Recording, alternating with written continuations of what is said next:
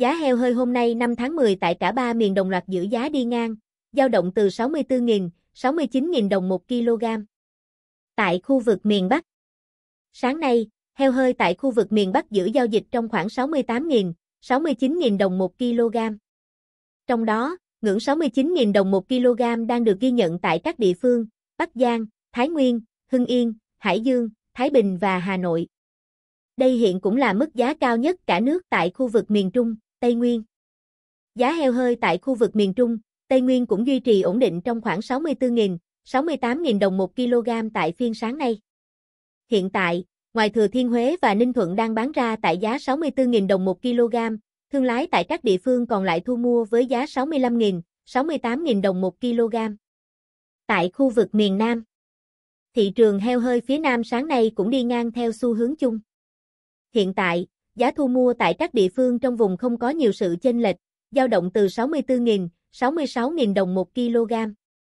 Theo đó, Bình Dương, Tây Ninh, Bà Rịa, Vũng Tàu, Long An và Đồng Tháp là các tỉnh có giá heo hơi đạt 66.000 đồng 1 kg, cao nhất khu vực giá thịt heo hôm nay 5 tháng 10. Chân giò rút xương giữ giá 115.922 đồng 1 kg giá thịt mát mít daily.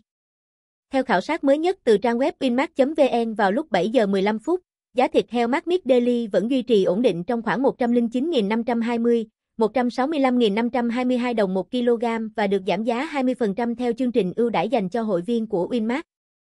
Cụ thể, nạc đùi heo đang có giá bán thấp nhất trong các loại là 109.520 đồng 1 kg.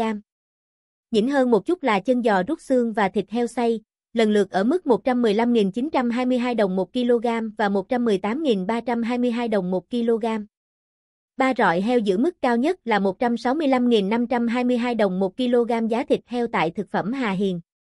Tại thời điểm khảo sát lúc 7 giờ 15 phút, giá thịt heo tại công ty thực phẩm tươi sống Hà Hiền vẫn duy trì ở mức ổn định. Các sản phẩm thịt heo đang được bày bán với mức giá dao động từ 69.000 đồng 1 kg, 165.000 đồng 1 kg, không có sự thay đổi so với ngày hôm trước. Trong đó, mỡ heo vẫn là loại thịt có giá thấp nhất với 69.000 đồng 1 kg.